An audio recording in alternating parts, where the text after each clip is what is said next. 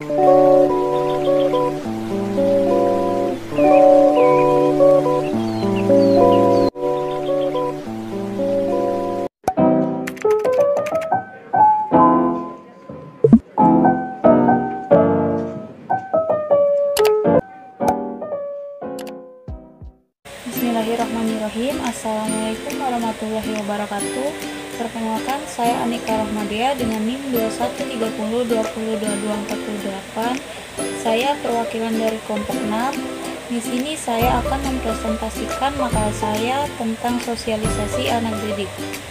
Baik yang pertama pengertian sosialisasi.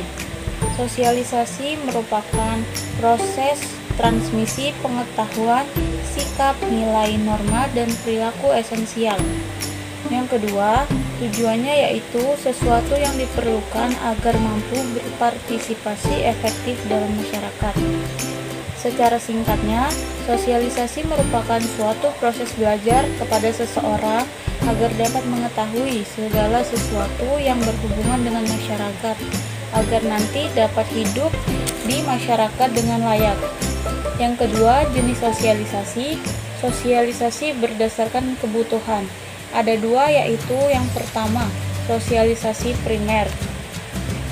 Sosialisasi primer ini menunjuk pada suatu proses melalui seseorang manusia yang mempelajari atau menerima pengetahuan, sikap, nilai, norma, perilaku esensial, dan harapan agar mampu berpartisipasi efektif dalam masyarakat atau menjadi anggota masyarakat.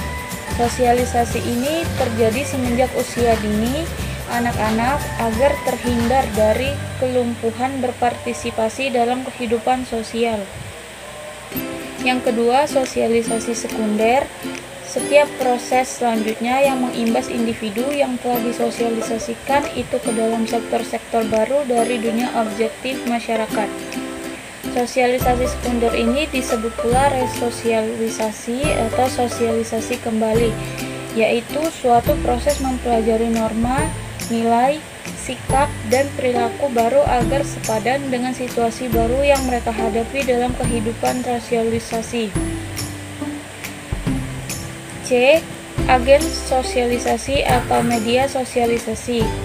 Yang pertama, keluarga, Keluarga merupakan orang pertama yang mengajarkan hal-hal yang berguna bagi perkembangan dan kemajuan hidup manusia adalah anggota keluarga, orang tua, atau keluarga harus menjalankan sosialisasi. Fungsi sosialisasi merupakan suatu fungsi yang berupa peranan orang tua dalam pembentukan kepribadian anak. Yang kedua, sekolah atau teman sepermainan merupakan lingkungan sosial kedua bagi anak setelah keluarga. Dalam kelompok ini akan menemukan berbagai nilai dan norma yang berbeda bahkan bertentangan dengan nilai-nilai yang diarut dalam keluarga. Melalui lingkungan sekolah dan teman sebaya, anak mulai mengenal harga diri, citra diri, dan hasrat pribadi. Yang ketiga, lingkungan kerja merupakan proses sosialisasi lanjutan tempat kerja seseorang baik berorganisasi secara nyata dalam suatu sistem. Sejumlah hal yang perlu dipelajari dalam lingkungan kerja, misalnya bagaimana menyelesaikan pekerjaan, bagaimana bekerja sama dengan bagian lain, dan bagaimana beradaptasi dengan rekan kerja.